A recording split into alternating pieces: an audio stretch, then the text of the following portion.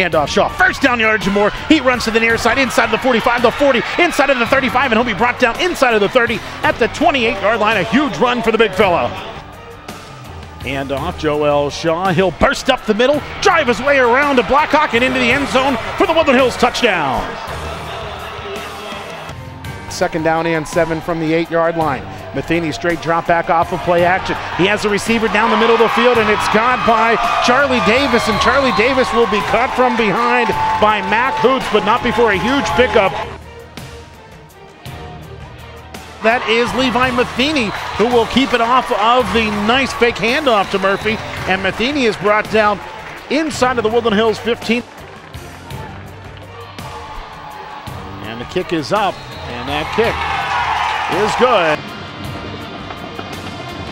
kicks it to the near sideline where it'll be returned by Christopher Wilson, and he lost the football, and Bethel Park has it at the Woodland Hills 30-yard line. Play action. Looks straight down the middle, has a receiver, and the Blackhawks lead the Wolverines on a 30-yard touchdown pass to Charlie Davis pitches it. It's batted by Joel Shaw. He'll scoop it up at the one. No, he loses the ball, and then it will sail into the end zone. Who's going to fall on it? I think it's Wilford Clark with the Woodland Hills TD. The big fella with the touchdown, and the Wolverines take the lead. Joel Shaw really did a great job of reading the play. Long handoff to that right hand side. Big cutback lane for John Delano. He's in the open field down the near boundary. He will be finally forced down out of bounds at the Woodland Hills 32 yard line. He's going to drive his way forward, gets to the line of scrimmage, and they will say he crosses the goal line for the one yard touchdown, and the Blackhawks back on top by two. Cooper will hand off to Miles Sanders. He'll run to the left hand side, has some room inside of the 50, the 40, the 30, the 20, 15, 10, 5, end zone, touchdown, Miles Sanders. He'll run off a play action to the near side. Has some room if he wants to step up. Instead, he'll throw it into the end zone where it's batted and intercepted by the Wolverines. A tip ball and the tip drill. The Wolverines come out of there with it. It's Tariq Thompson with the INT. Cooper going to throw it to the left to Miles Sanders. He has a blocker in front of him. First down yards and more 40, 30, 20, 15, 10, 5, end zone for the Wolverines.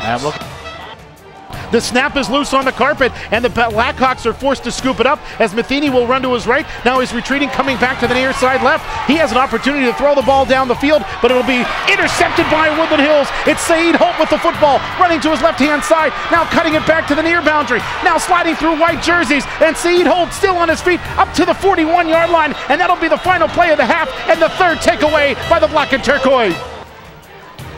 And they'll snap it to the up man, Joel Shaw. And Shaw has the first down and more. 35, 40, spinning to the 45, to the 50 yard line, and inside of Blackhawks territory to the 47 yard line.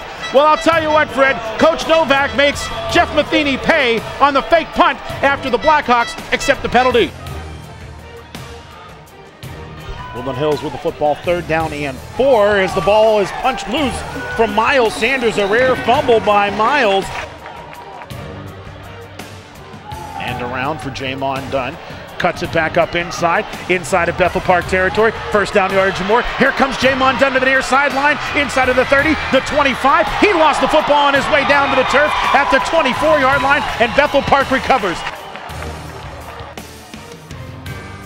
Second and 11. Matheny off of play action, throws it down the middle of the field, and it will be intercepted by the Wolverines. Leaping up and grabbing hold is Derek Caraway, and that's the third INT by the black and turquoise today.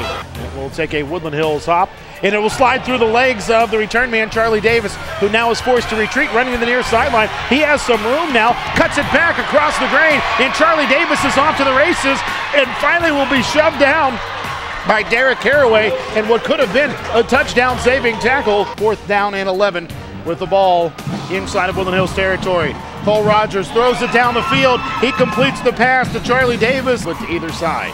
Rogers straight drop back, fade route to the far boundary, and the pass will be caught for a Bethel Park touchdown right along the end line. They say that Charlie Davis got his left foot in.